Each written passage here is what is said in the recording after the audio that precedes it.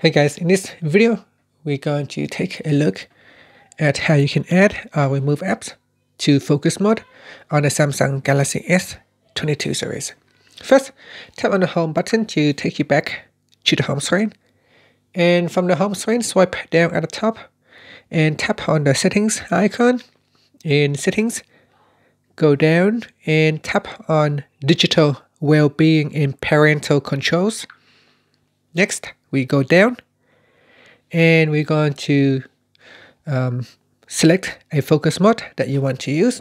Now, for example, if we choose to use work time, we tap on that and to add or remove an apps to work time focus mode, you tap on the edit button. And at the top here, you can see there are three additional apps that I have added. Calendar, the print service in Duo. So to remove an app from the focus mode, I just tap on the remove button at the top here. Now, some of this app here cannot be removed because they are the default uh, apps that has been uh, predefined for this uh, focus mode. So you can see for messages, uh, it's a this app is always allowed in that mode.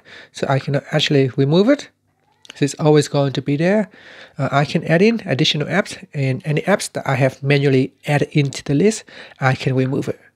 And that's it. So this is how we can add in uh, some apps to the list. As you can see here, uh, in work time mode, I have now added in uh, the clock app, uh, Duo, I think not the clock, Duo, calendar, and other apps in here. So if I tap on the start button, you can see I should be able to access calendar now.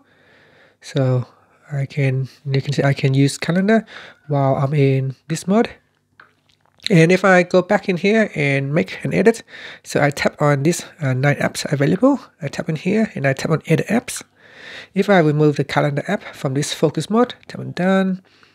And if I go back into here, you can see now calendar has been disabled and I cannot use it. And that's it. By ending the focus mode, you will be able to use all of the apps again.